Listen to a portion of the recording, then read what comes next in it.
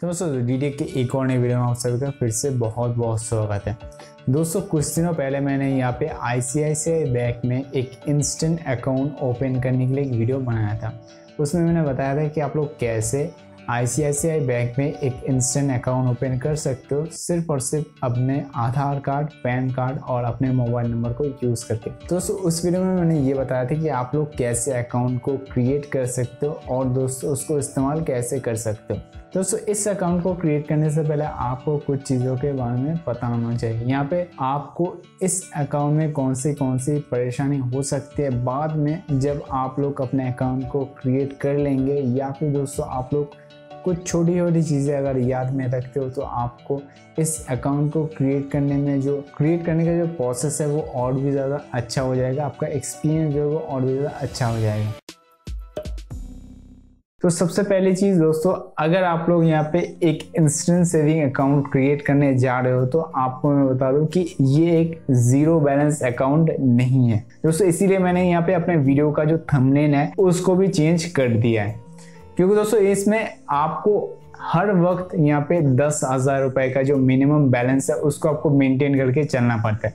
चाहे वो दोस्तों आप लोग इंस्टेंट सेविंग अकाउंट क्रिएट करें या फिर इंस्टेंट सेविंग जो एफडी अकाउंट है, दोनों में से अगर आप लोग किसी को भी ओपन करते हैं तो आपको यहाँ पे दस हज़ार रुपए का जो मिनिमम बैलेंस है, उसको मेंटेन करके चलना पड़ता है। एफडी अकाउंट में आपको दस हज़ार रुपए की एफडी करवानी होती है और जो नॉर्मल इंस्टेंट सेविंग अकाउंट है, उसमें आपको जो दस हज़ार रुपए का जो बैलेंस है, उसको मेंटेन करके चलना पड़ता है। इसके बाद दोस्तों, अगर आप लोग ये वाला जो अकाउंट है, इसको क्रिएट करने जा रहे हो तो आप लोग ये ध्यान रखिए कि आपका जो इंटरनेट कनेक्शन है, वो एकदम ठीक ठाक हो और दोस्तों, आपको वहाँ पे कोई भी इंटरप्शन नहीं चाहिए। अगर दोस्तों, आप लोग अपना जो रजिस्ट्रेशन है, उसको करते करते अगर आपका इंटरनेट चला गया या फिर दोस्तों, आप लोग समझिए कोई पेमेंट कर रहे हो तो तब आपका अगर इंटरनेट चला जाए तो उस वक्त आपको बहुत सारी परेशानी हो सकती है। हो सकता है कि आपका पेमेंट फेल हो जाए, आपको आपका अकाउंट नंबर ठीक तरीके से ना मिले, ये सारी चीज़ें हो सकती है। तो हमेशा इंटरनेट कनेक्शन जब आपके पास अच्छा हो, तभी आप लोग ये वाला अकाउंट क्रिएट कीजिएगा। इसके बाद दोस्तों, एक बहुत ही इंपॉर्टेंट चीज़ है, वो आपको मैं बता देता हूँ कि दोस्तों, यहाँ पे अगर आप लोग जो एफडी अकाउंट है, उसको क्रिएट कर रहे हो, क्योंकि दोस्तों, आपको हो सकता है कि वहाँ पे जो क्रेडिट कार्ड है, वो चाहिए होगा तो तब आपको क्या करना है कि आपको जो तुरंत ही आपको उसका पेमेंट नहीं करना है। आप लोग उसका जो पेमेंट है, उसको बाद में भी कर सकते हो। इसीलिए आपके पास यहाँ पे दो महीने का टाइम आपको मिलता है, आप लोग बाद में उसको आराम से पेमेंट कर सकते हो, जब आपको आपका जो क्रेडिट कार्ड है, वो मिल जाए, आपका जो नेट बैंकिंग है, वो ओपन हो जाए, आपको आपका अकाउंट नंबर सब कुछ जब ठीक होगा, तब आप लोग उसका पेमेंट वहाँ पे कर सकते हो। क्योंकि दोस्तों, ऐसा बहुत सारे लोगों के साथ हुआ है। खैर, मेरे साथ तो ऐसा कोई हुआ नहीं है, पर दोस्तों, मैंने ऐसे बहुत सारे लोगों की प्रॉब्लम देखी है कि वो लोग अपना अकाउंट क्रिएट करने गए और उन्होंने पेमेंट कर दिया। उसके बाद दोस्तों, उनको अपना अकाउंट नंबर नहीं मिला या फिर आई कोड नहीं मिला तो इस सिचुएशन में अगर आप लोग कस्टमर केयर को कॉल करते हो तो वो आपसे अकाउंट नंबर मांगते हैं। और दोस्तों, अगर आप लोग किसी भी ब्रांच में जाते हो तो वहाँ पे भी आपसे अकाउंट नंबर मांगा जाता है, या फिर दोस्तों कोई ऐसी डिटेल्स मांगी जाती है मतलब कि दोस्तों, जब आप लोग अकाउंट को क्रिएट कर रहे थे, तब आपका कोई अगर स्क्रीनशॉट वगैरह होता है तो ये सारी चीज़ें आपसे मांगी जाती है। अगर आपके पास नहीं होता है तो आप लोग, यहाँ पे दोस्तों, आपको बहुत सारी दिक्कतों का सामना करना पड़ सकता है। तो इसीलिए आप लोग पहले इसको पेमेंट मत कीजिए, आप लोग इसको बाद में आराम से पेमेंट कर दीजिएगा। और दोस्तों, अगर आप लोग यहाँ पे जो एफडी अकाउंट है, उसको क्रिएट कर रहे हो तो आपको यहाँ पे जो दस हज़ार रुपए का जो मिनिमम एफडी है, उसको आपको हमेशा वहाँ पे करके रखना पड़ता है।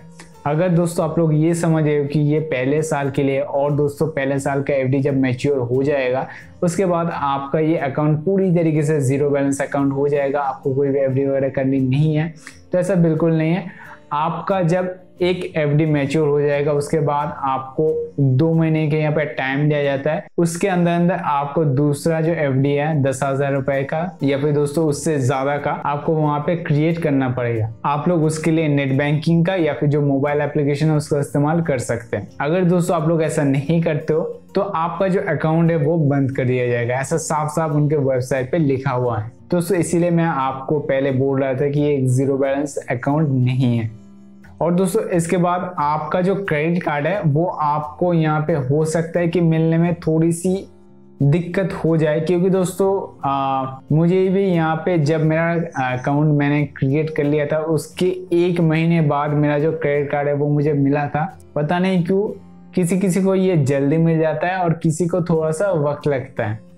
तो आपको यहाँ पे वेट करना है। आप लोग यहाँ पे कस्टमर केयर से बात कर सकते हो।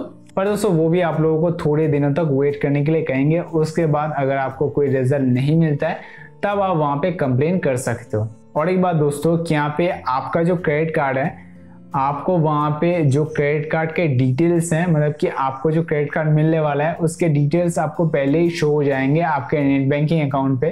पर दोस्तों, उसके लिए भी आपको यहाँ पे आपके बैंक को 24 घंटे का पर दोस्तों, उसके लिए भी आपको आपके बैंक को 24 घंटे का वक्त देना होगा।